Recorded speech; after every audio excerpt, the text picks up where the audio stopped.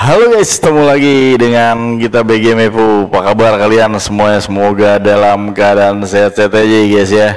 Kita ketemu lagi di video ini setelah hampir dua minggu ya guys ya gitu. Saya nggak buat video ini karena ada apa hal lain gitu kan. Jadi kita menjelang nih tanggal 2 Juni ini menjelang Tanzania ya. Ada siaran langsung ya guys ya di video.com dari grup MTech pertandingan yang mempertemukan Indonesia dan Tanzania. Tanzania ini adalah negara dari Afrika ya guys ya. Jadi dalam rangka uji coba ini untuk kelanjutan dari kualifikasi Piala Dunia 2026 di tanggal 6 nanti melawan Irak dan juga di tanggal 11 melawan Filipina yang Indonesia selangkah lagi akan masuk ke putaran ketiga kualifikasi Piala Dunia zona Asia nih guys. Jadi penentuan dan sejarah apakah akan tercipta kita tunggu aja tapi sebelum itu melawan Tanzania juga Indonesia ingin mendapatkan formasi strategi yang cocok ya untuk menjelang melawan Irak nanti.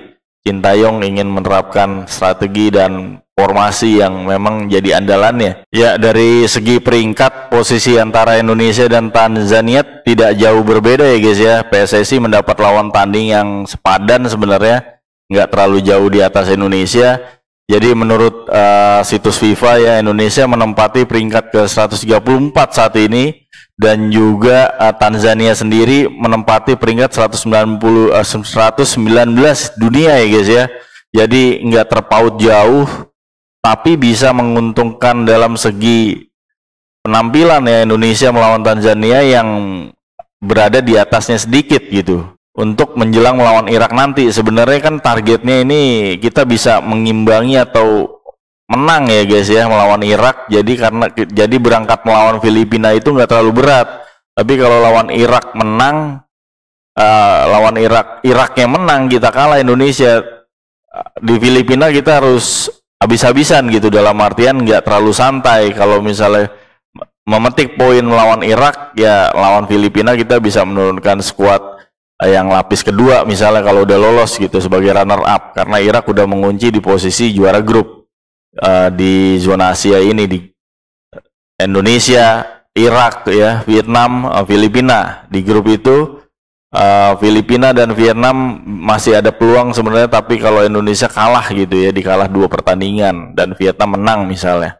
Tapi peluang itu sangat tipis mudah-mudahan Indonesia dapat melanjutkan tren positifnya dengan uji coba melawan Tanzania yang awalnya dihitung sebagai poin FIFA dan juga uh, pertandingan resmi friendly match uh, internasional FIFA tapi akhirnya dirubah ya guys ya menjadi uh, training match. Dalam artian Sintayong ingin mencoba semua pemain uh, sejak uh, Piala Asia senior lalu baru berkumpul lagi untuk yang senior ya guys ya. Jadi uh, kita akan tunggu aja seperti apa uh, pertandingannya. Indonesia melawan Tanzania yang Indonesia sendiri masih belum diperkuat oleh Zai Izes ya guys ya. Dan juga uh, menunggu kedatangan Martin Paes, uh, Calvin Verdong yang masih uh, kalau untuk Martin Paes sudah resmi menjadi warga negara Indonesia tapi ada hul ada hal administrasi guys ya. Tapi Calvin Verdong masih menunggu uh, peresmian dalam artian proses perpindahan warga negara dan juga perpindahan federasi yang informasinya Senin ini ya guys ya Senin ini akan diketuk palunya di DPR. Mudah-mudahan aja bisa cepat dan juga Kelvin Verdong bisa bermain untuk menjelang Irak nanti sehingga amunisi yang disiapkan Sintayong bervariasi nggak hanya satu dua pemain yang bin, yang bisa dimainkan tapi jika satu dua pemain berhalangan ada pemain ketiga dan keempat. Jadi merata dan juga dari line up uh, utama dan juga cadangan itu merata uh, skill dan performanya.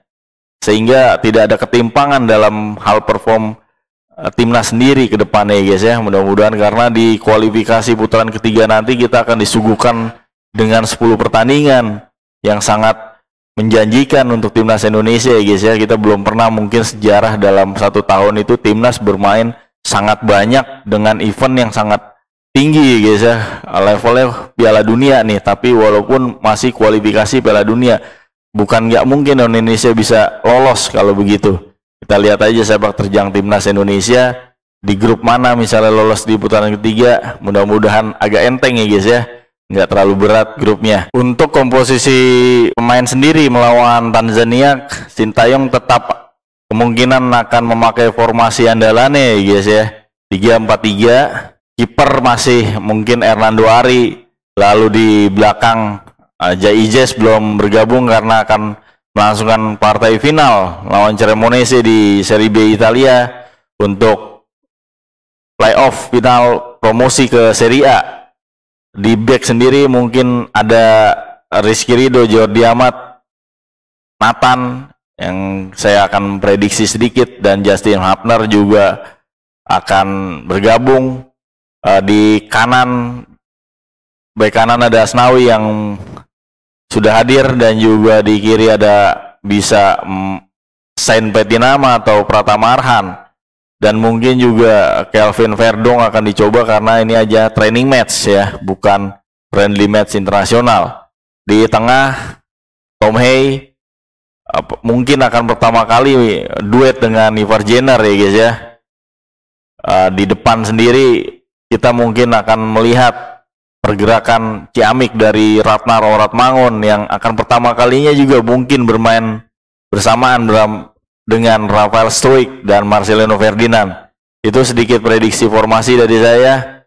Ya, sekali lagi uh, Indonesia versus Tanzania yang Indonesia berurut ke 134 dunia dan juga Tanzania 119 dunia akan berlangsung di Stadion Madia Senayan di hari Minggu jam 15.30 waktu Indonesia Barat. Di kalau kalian mau nyaksikan siaran langsungnya bisa di uh, video.com dan juga kalau saya sempat kita akan live komentar ya guys ya live reaksi dan lain-lain. Mudah-mudahan Indonesia dapat memetik hasil poin dan juga penampilan yang lumayan ya guys ya. Karena ini memang targetnya Sintayong untuk mencoba seluruh pemain uh, target utamanya adalah memenangkan melawan Irak dan Filipina nanti di kualifikasi Piala Dunia Mungkin itu aja video dari saya sedikit ulasan Indonesia versus Tanzania di tanggal 2 Juni jam 15.30 dan juga next saya akan buat video lagi untuk pertandingan Irak dan juga Filipina. Oke, makasih yang udah nonton. Sampai jumpa di video-video berikutnya. Jangan lupa kalau kalian suka dengan video saya, channel saya, subscribe ya, like, komen, share.